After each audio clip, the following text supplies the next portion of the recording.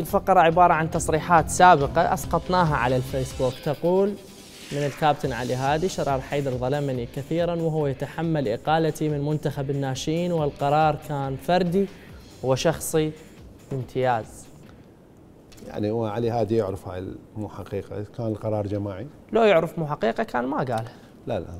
قرار جماعي. وطلب الاجتماع اجى من رئيس الاتحاد. وأعضاء الاتحاد كلهم صوتوا عليه. كلهم بالإجماع؟ كلهم.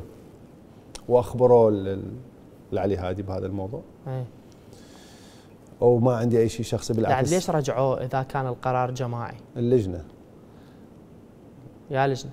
اللجنة اللي صارت تحقيقية. فكان القرار جماعي. وإذا ما عندك شيء شخص وياه ليش؟ إطلاقاً. وهو يعلم القرار جماعي ليش فقط اتهم شرار حيدر؟ يعني هو راد يحولها إلى موضوع شخصي وهو هو يعرف ما عندي شخصي بين أكثر مدرب تعاونت وياه هو علي هادي. ملعبي مفتوح أنا داعيت له بزيادة الراتب أنا ال... وأكو اجتماعين إجاني بيهن وأنا واحد منهن. ليه هسه مذاكر؟ أنا مذاكر تفاصيلها بالإعلام ترى. أنا كل شيء مذاكر بالإعلام. وعلي هادي تم يعني هاجمني أكثر من مرة في القنوات هو وحمزه هادي. زين حمزة هادي إيش عليه؟ يعني بالنتيجة ينتخي ل- لأخيه ما بيها شيء المهم. ويقول لك أنا وأخوي على ابن عمي.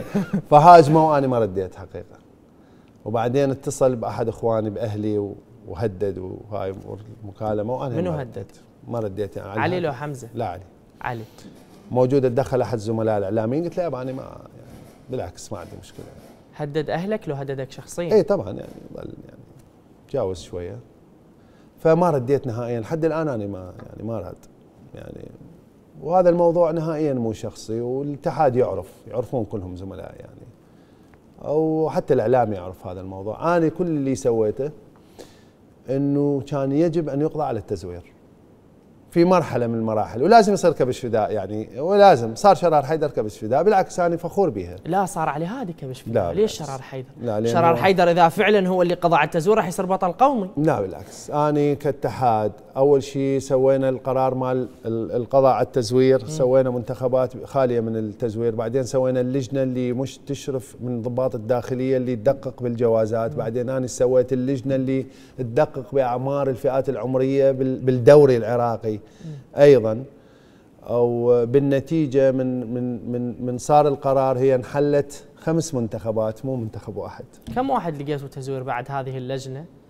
تقدر تسأل اللجنه يعني اللجنة على الدوري؟ اللجنة كل ما نتصل بيهم والله إحنا ضباط ما نقدر نصرح. وهي هم مشكلة. آه اي مشكلة صح. من يروح منك خمس لاعبين أو أربع لاعبين أو ثلاثة هذا المفروض ما يأثر. مفروض. هذا بالعكس فرصة جيدة للاعب الشاب اللي قاعد يتحين الفرص حتى يلعب. يثبت نفسه. فالمفروض الدوري يستمر.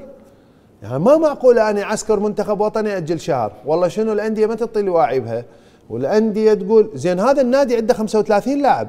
زين ذول ال 35 لاعب. مو كلهم عقود بمئات الملايين يم مؤسسته.